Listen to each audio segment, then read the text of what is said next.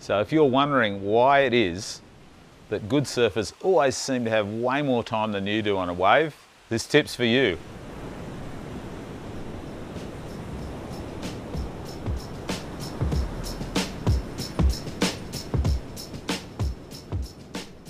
So turn delay technique hasn't always been a big part of skilled surfing.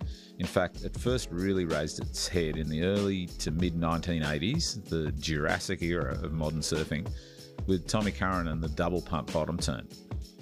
Tom, along with every other top pro surfer, knew the bottom turn was the key to every other part of his surfing.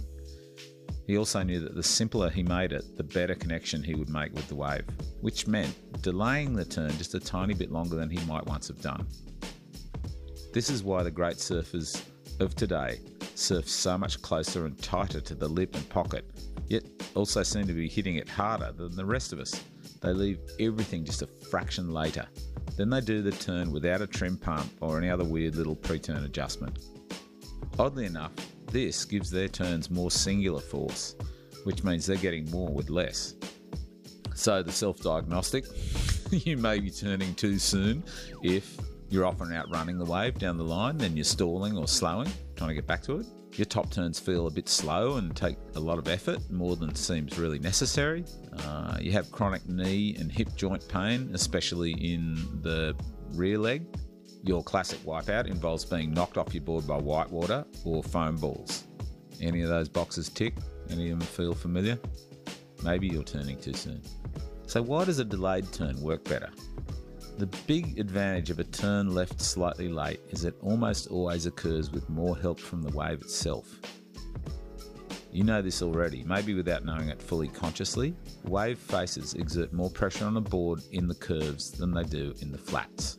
So a turn done on a wave that's had time to produce curves in the base or pocket will gain drive and direction from that pressure.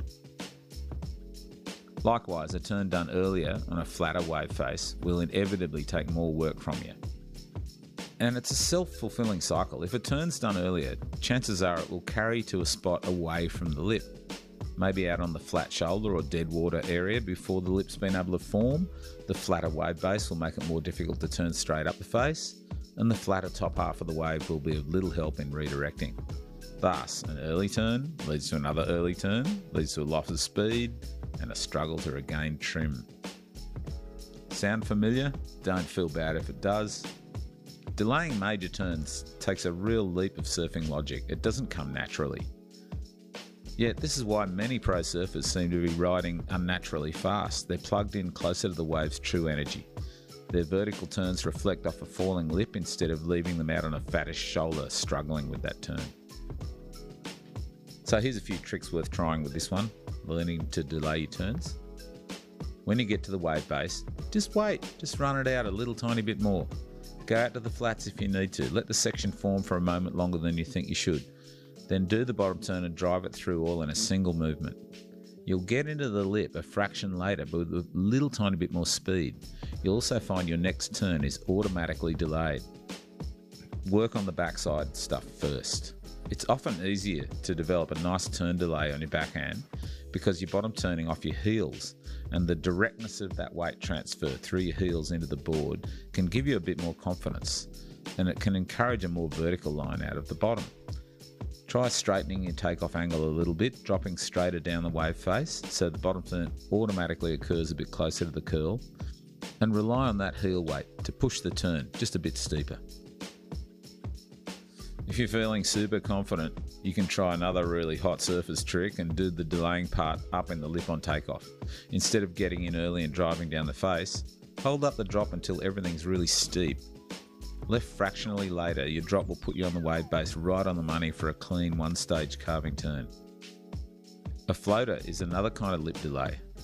Leaving your drop out of the floater for an extra half second can give the wave a chance to develop extra turning curve in the base. So, look, the most important thing in developing this kind of technique, this delayed turn stuff, is kind of overcoming your own concerns about it.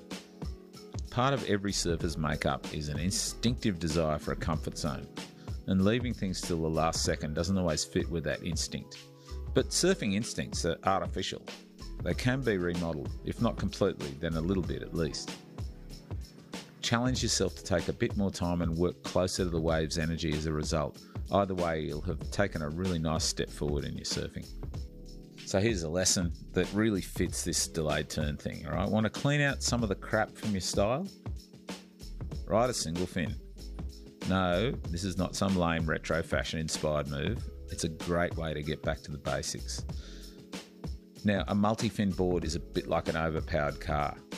The luxury can lead to sloppy driving. But a singly's lack of fin volume and corresponding lack of fin drive forces you to surf with a much sharper eye to the wave's actual power. It'll give you a refresher course in timing, trim, and accuracy of turn.